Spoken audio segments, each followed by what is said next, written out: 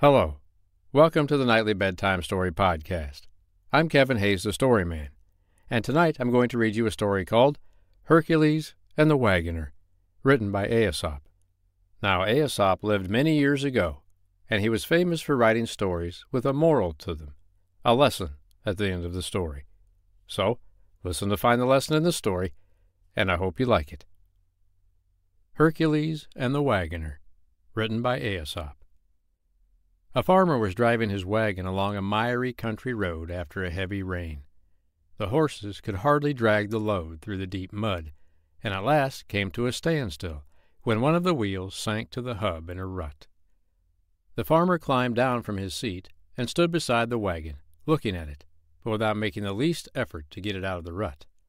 All he did was to curse his bad luck and call loudly on Hercules to come to his aid. Then, it is said, Hercules really did appear, saying, Put your shoulder to the wheel, man, and urge on your horses. Do you think you can move the wagon by simply looking at it and whining about it? Hercules will not help unless you make some effort to help yourself.